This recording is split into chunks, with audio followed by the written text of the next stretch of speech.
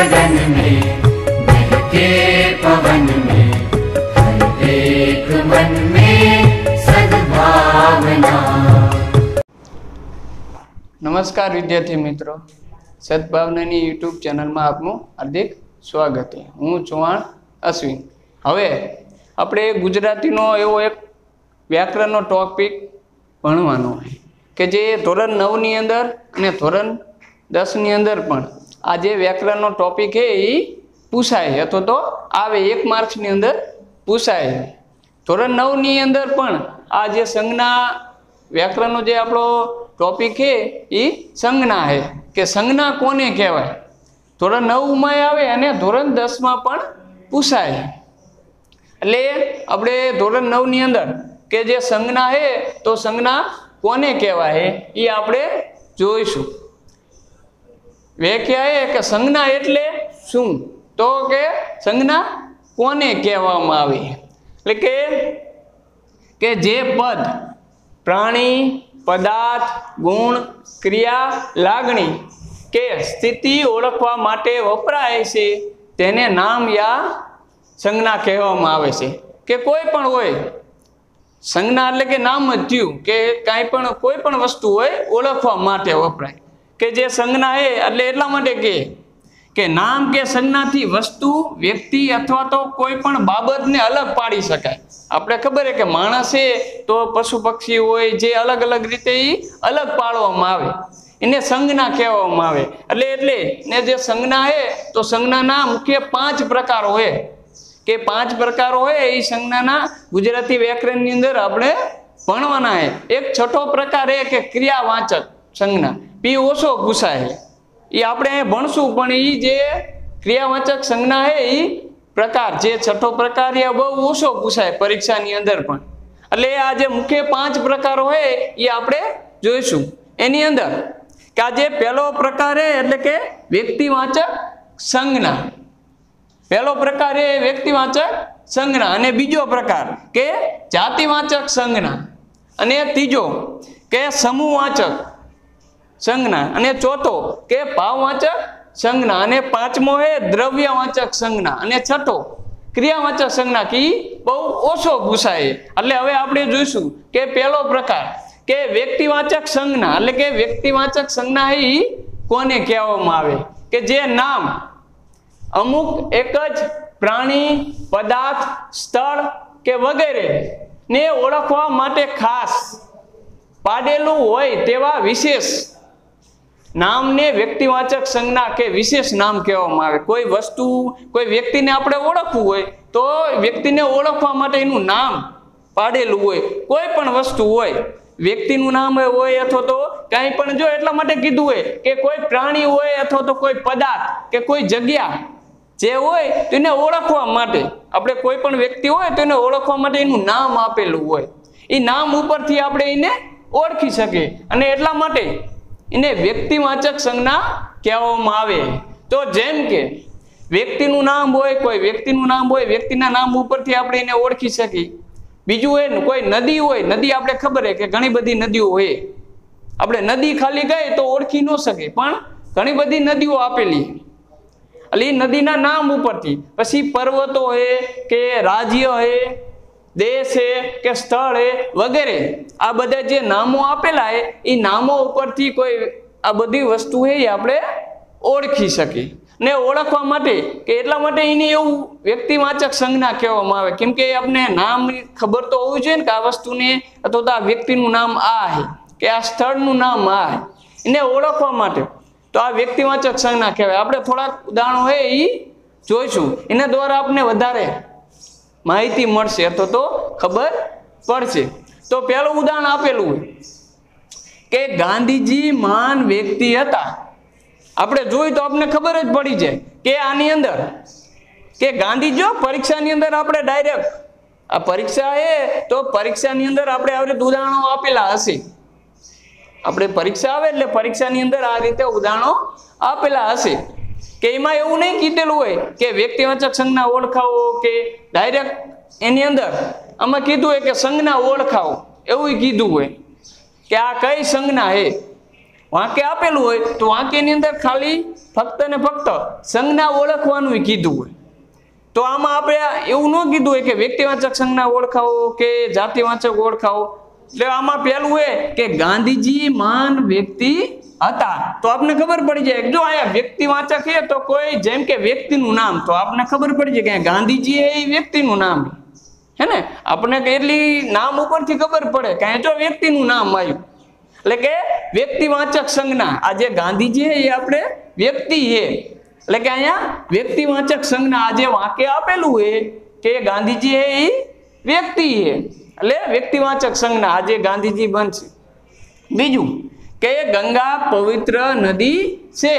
તો જો, આ જે ગંગા હે, કોઈક વ્યક્તિનું નામ એ હોય અને નદીનું નામ એ. એટલા માટે આ જે ગંગા હે, તો ગંગા એ વ્યક્તિવાચક સંજ્ઞા કે જે એ આવે એની અંદર. કેમ કે ગંગા એ આપને ખબર છે કે ગંગા નદીઓનું નામ છે, એટલા માટે આમાં નદી આપ્યું હોય. ખાલી એમ કીધું ગંગા હે. નહીં, ગંગા પવિત્ર નદી છે. તો આની અંદર આ જે ગંગા છે તો ગંગા વ્યક્તિનું નામ હોઈ શકે અને નદીનું નામ પણ હોઈ શકે. એના પછી આપણે ત્રીજું ઉદાહરણ જોઈ કે ગુજરાત સુખી રાજ્ય છે. જો આપણે જોઈ કે ગુજરાત છે આજે આપણું રાજ્ય એ સુખી કીધેલું હોય પણ ગુજરાત છે તો આમાં શું કીધું કે ગુજરાત?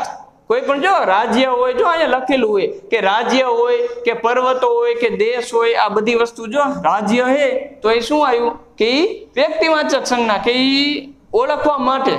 ગુજરાત રાજ્ય તો ઘણા બધા છે આપણને ખબર હે કે રાજ્યો છે એ ઘણા બધા હે. પણ ગુજરાત એ સુખી રાજ્ય છે. એટલે ગુજરાત એ આ શું એ વ્યક્તિવાચક સંજ્ઞાની અંદર આવે. એના પછી કે બીજો પ્રકાર, કે જાતિવાચક સંજ્ઞા. કે જે બીજો પ્રકાર પહેલો પ્રકાર એ વ્યક્તિવાચક સંજ્ઞા. હવે બીજો હે કે જાતિવાચક સંજ્ઞા. તો એની અંદર આપણે એની વ્યાખ્યા જોશું કે જ્યારે કોઈ શબ્દ દ્વારા આખો વર્ગ કોઈ પણ શબ્દ એટલા માટે કે જ્યારે કોઈ શબ્દ દ્વારા આખો વર્ગ કે જાતિનું સૂચન કરવામાં આવેલું હોય, ત્યારે તેને જાતિવાચક સંજ્ઞા કહેવામાં આવે. કોઈ પણ આખો વર્ગ હોય ધારો કે વિદ્યાર્થીનો આખો વર્ગ હોય, તો એ આખો શું એ? જાતિ એક આખો વર્ગ આવી ગયો. એટલા માટે શું કીધું હોય કે આખા વર્ગનું સૂચન કરતું હોય. આખા વર્ગ વિશે. કે કોઈ પણ સમાજ હોય, આખો સમાજ એક હોય, તો આખા સમાજ વિશેનું કે એની જાતિ દર્શાવે? કે આ સમાજ છે અથવા તો આ જાતિ છે તો એટલા માટે કે જાતિ આખા વર્ગની જે દર્શાવવામાં અથવા તો સૂચન કરવામાં આવે, એને જાતિવાચક સંજ્ઞા કહેવામાં આવે છે. જેમ કે કે એની અંદર જાતિ કઈ રીતે કે કેવા કેવા શબ્દો દ્વારા જાતિ આપણે ઓળખી શકીએ? જેમ કે વિદ્યાર્થીઓ એ વિદ્યાર્થીની જાતિ કે એ વિદ્યાર્થી ઘણા બધા માણસો હોય, પણ એમ કેવી રીતે ખબર પડે કે આ વિદ્યાર્થીઓ છે? એટલે વિદ્યાર્થીઓની જાતિ. પુસ્તક છે તો પુસ્તકો પણ ઘણા બધા હોય. એટલે પુસ્તક, પંખી, સ્ત્રી, પુરુષ, નેતા, શહેર, જિલ્લા વગેરે, આ બધું હે, તો શું કે આ બધી હે એ જાતિવાચક સંજ્ઞા હે કે એની અંદર આ બધી આપણે ઓળખી શકીએ કે સ્ત્રીઓ હે તો સ્ત્રીઓની જાતિ, પુરુષ હે તો પુરુષની જાતિ. આ બધી જાતિવાચક સંજ્ઞાની અંદર એક શબ્દ દ્વારા આખા વર્ગની, એક જ આખા વર્ગનું શું એ? કે સૂચન કરતું અથવા તો આપણે વ્યક્તિનું કે આ જાતિ છે હમ.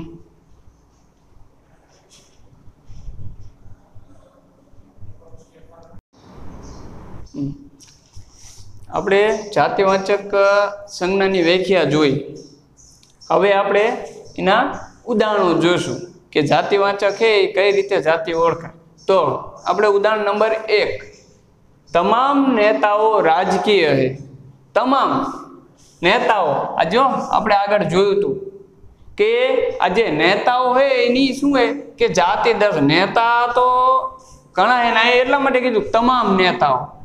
આ જે નેતા છે એમની જાતિ દર્શાવે કે વ્યક્તિ કોઈ પણ હોય, તો શું કે કે નેતા છે એની જાતિ દર્શાવે આ તમામ નેતાઓ કે જે હે, નેતા હે, એના અલગ અલગ વ્યવસાયમાં માણસો હોય, તો એનો અલગ અલગ વ્યવસાય હોય. અથવા તો ધંધો અલગ અલગ હોય. એ જ રીતે આ જે નેતા હે, તો નેતા એની જાતિ એકી નેતા હે.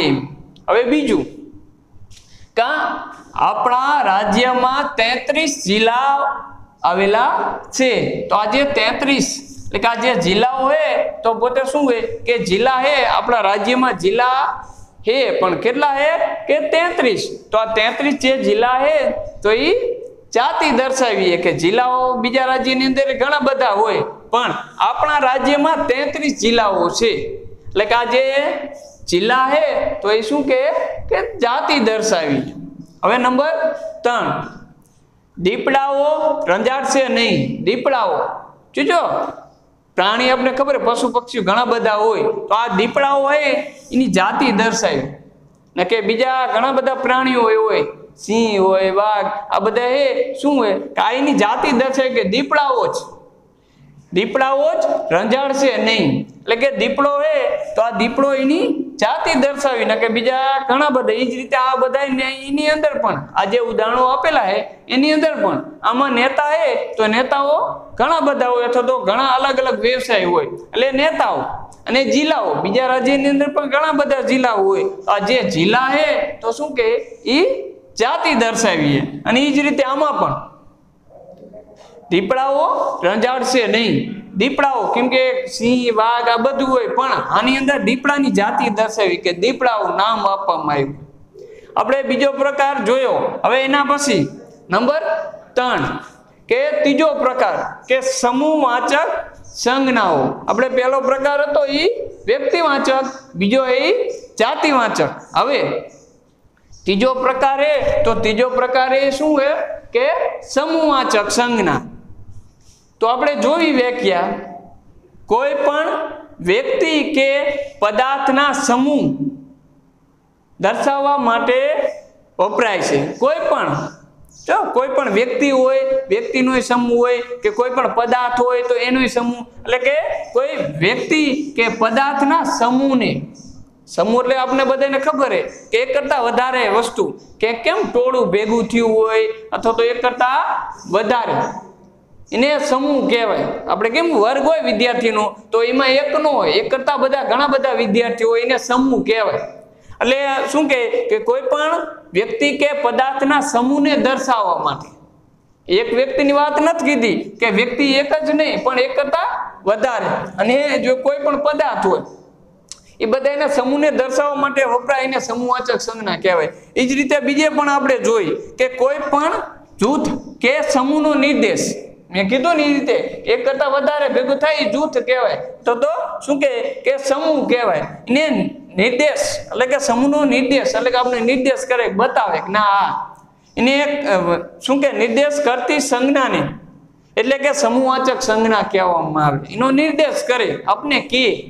આ સમૂહ આપને એટલી ખબર પડે કે એક કરતા વધારે વ્યક્તિઓ ભેગા થાય તો એને સમૂહ કહેવાય. તો તો જૂથ કહેવાય. અલગ અલગ કેમ? જૂથ હોય. એક જૂથની અંદર એક કરતા વધારે વ્યક્તિ હોય એને સમૂહ અથવા તો જૂથ કહેવાય.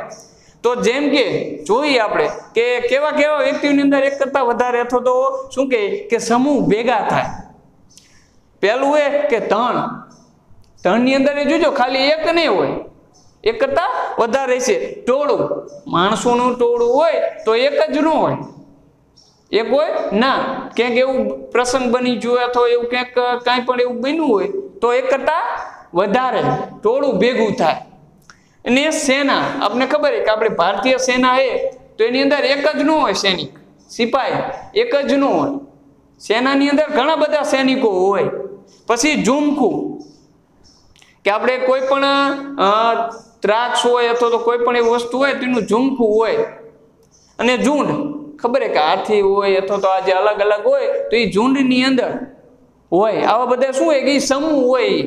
એની અંદર આ બધા એ સમૂહની અંદર હોય. તો એવા જ આપણે થોડાક ઉદાહરણો જોવી કે જે સમૂહવાચક સંજ્ઞા કઈ રીતે બની અને કઈ રીતે પૂછાય પરીક્ષાની અંદર અગાઉ વ્યક્તિવાચક સંજ્ઞાની અંદર આપણે વાત કરી. કે તમારે ખાલી વાક્ય આપેલું હોય, એની અંદર તમને કીધેલું હોય. ધારો કે આ ત્રણ વાક્ય કેમ આપણે આપ્યા એ રીતે પરીક્ષાની અંદર પણ વાક્ય આપેલું હશે. વાક્યની અંદર આપણે શું કે, તમને આપણે એવું કીધું હોય કે આમાં સંજ્ઞા ઓળખાવો. આ વાક્ય આપેલું હોય તો એની અંદર સંજ્ઞા ઓળખાવો. એવી રીતે પૂછાય. અને એ રીતે પૂછાય કે આમાં આની અંદર કઈ સંજ્ઞા પૂછાણી વ્યક્તિ વ્યક્તિવાચક એ, જાતિવાચક એ, સમૂહવાચક એ આ સંજ્ઞા. તો આની અંદર પહેલું ઉદાહરણ આપણે જોઈશું કે ભારતીય સેના ચોકી કરે છે. તો આમાં શું થયું? કે જે આ સેના, તો જો આપણે અહીંયા પણ જોયું. સેના, એટલે કે સેનાની અંદર ભારતીય સેના, એટલે કે આપણી ભારતની સેના, કે જે આપણા સિપાહીઓ આપણા દેશની રક્ષા કરે, તો એ શું છે? કે સેના ચોકી કરે.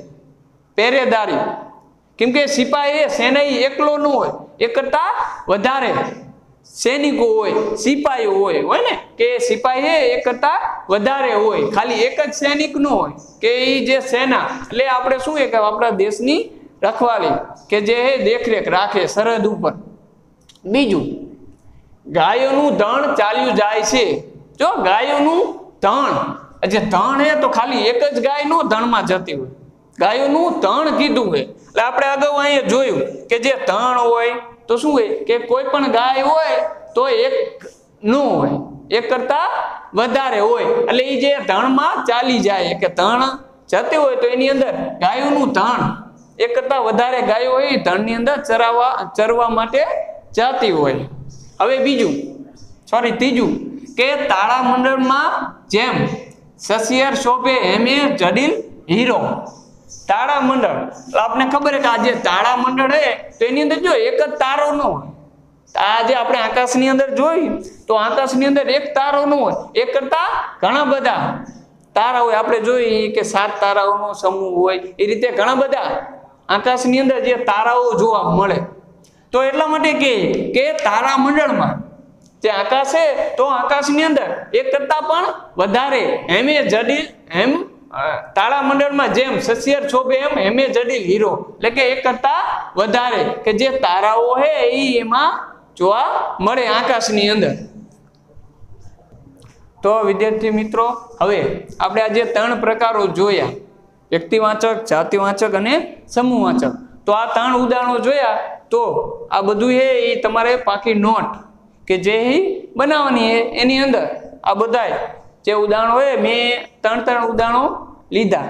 હવે આ બીજા છે લેસનની અંદર. કે આની અંદર તમારે આ જે ઉદાહરણો આપેલા છે, તો આ ઉદાહરણો જે આપેલા છે, એની અંદર તમારે મેં કેમ કીધું કે આ તારા તારા મંડળ, તો એની અંદર શું છે કે તારા, એટલે કે સમૂહવાચક તો તમારે ડાયરેક્ટ આ વાક્ય હે એક વાક્ય લખવાનું અને એના નીચે એરો અથવા અંડરલાઈન કરીને એટલે જે આમાં જવાબ આવતો હોય, ત્રણમાંથી આમાં આ છ વાંકે, છ વાંકીની અંદર જે જવાબ આવતો હેઠે અંડરલાઈન કરીને અને એરો કરીને નીચે લખવાનું કે આ જવાબ અને બાજુમાં લખવાનું સમૂહ વાંચક કે વ્યક્તિ વાંચક કે જાતિ વાંચક આટલું એ આ હોમવર્કની અંદર લખવાનું. જ્યારે આપણે મળીશું, ત્યારે હું આ તમારું આ લેસન કે જે એ જોવીશ ધન્યવાદ.